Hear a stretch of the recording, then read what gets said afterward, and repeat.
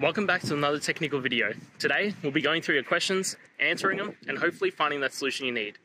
Guys, remember to stay just a little bit crazy, just like me, and hopefully you'll find that solution you're looking for. Now, let's continue on to the video.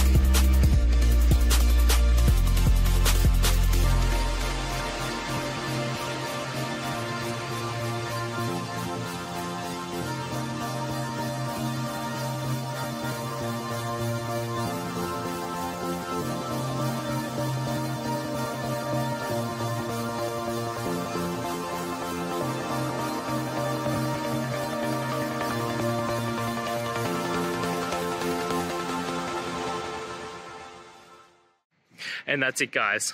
I hope the videos helped find you to that resolution and you're able to get through your problem. If you did, guys, please hit subscribe. I really appreciate it. It does help me out. And until next time, have a good one.